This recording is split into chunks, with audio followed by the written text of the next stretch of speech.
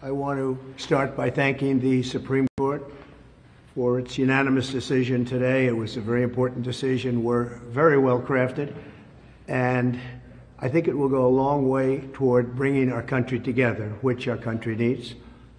And uh, they worked long, they worked hard, and frankly, they worked very quickly on something that will be spoken about 100 years from now and 200 years from now. Extremely important.